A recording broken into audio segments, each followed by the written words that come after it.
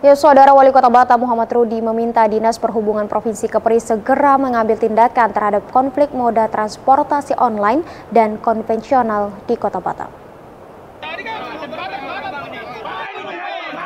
Menanggapi kisru taksi online dan konvensional di Kota Batam, Wali Kota Batam Muhammad Rudi meminta Dinas Perhubungan Provinsi Kepri segera mengambil tindakan untuk mengatasi masalah moda transportasi online dan konvensional ini.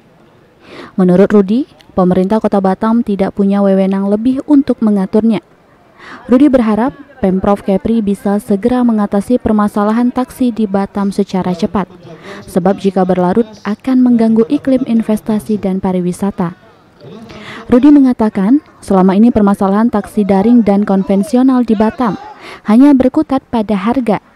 Rudi meminta ada aturan khusus soal harga yang ditetapkan oleh pemerintah provinsi. Juga perlu adanya kesepakatan antar dua belah pihak agar konflik antara keduanya tidak terjadi. Hal yang perlu kita dudukkan tadi saya sampaikan, jangan kepentingan pribadi terlampau ditonjolkan sehingga kepentingan umum jadi masalah. Sekarang apa masalah sebenarnya? Masalah sebenarnya mencari rezeki. Betul, Pak. Konvensional mencari rezeki, online juga cari rezeki. Rezeki yang dicari konvensional mungkin sudah ada rate harga ya dari pemerintah taksi online juga ada rate dari pemerintah, dari provinsi.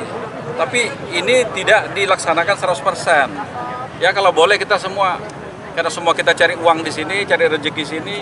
Kalau tidak ada kompromi di antara kita, yang susah kita semua. Kalau ribut terus, ujung-ujung tak ada datang. Seperti COVID dulu. Semua mengeluh, Pak tak ada angkat satu red pun.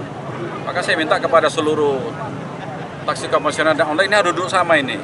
Tentu di bawah koordinasi Pak Gubernur, Kenapa kalau, kalau uh, taksi online saya tidak boleh mengeluarkan SK? Tapi kalau konvensional saya boleh. Kalau saya hanya keluar konvensional, online ini tidak ada ya jadi masalah juga. Maka kalau boleh dari Dinas Perhubungan Provinsi melapor Pak Gubernur supaya ada ambil satu kebijakan sehingga harganya mungkin bisa kita dudukkan sama. Kalau konvensional nanti beli 100 ribu, maka online juga 100 ribu jarak tempuh. Kalau tidak kita gunakan Argo.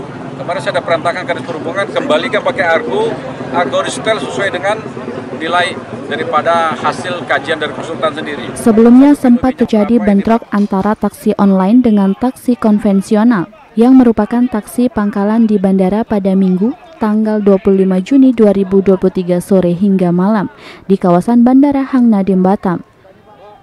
Ferdinand